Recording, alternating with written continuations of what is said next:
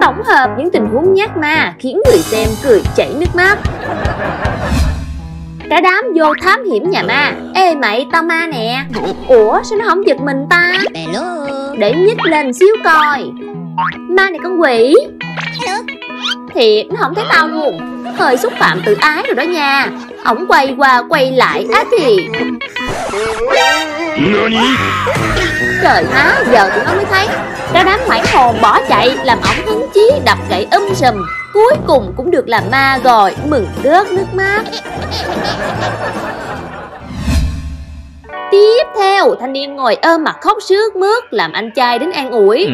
Thôi, nín đi anh thương, anh lỡ xíu á mà. Đến khi ổng quay qua á thì...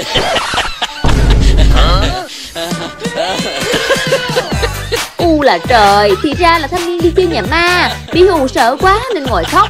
Bởi tỉnh nói yêu đừng có ra gió nha cha.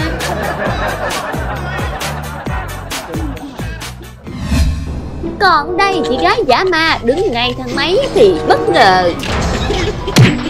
Anh trai té ngửa chạy bằng bốn chân làm bà ma cười khúc khích khoái chí. Tới cái anh trai tiếp theo á thì hơi giật mình rồi bình tĩnh lướt qua. Bà đứng thêm chập á thì bất ngờ.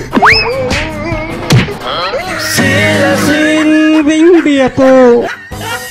Ông anh quay lại đạp cho một phát mẹ mà té nhào ra đất. Ủa đứa nào đạp ta mà đau đứt quá vậy nè? Cho chừa cái tật đi hù người ta đi hiên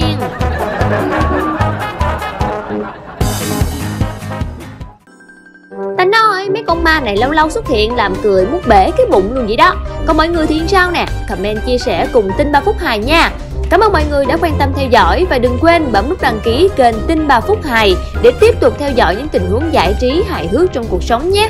Xin chào!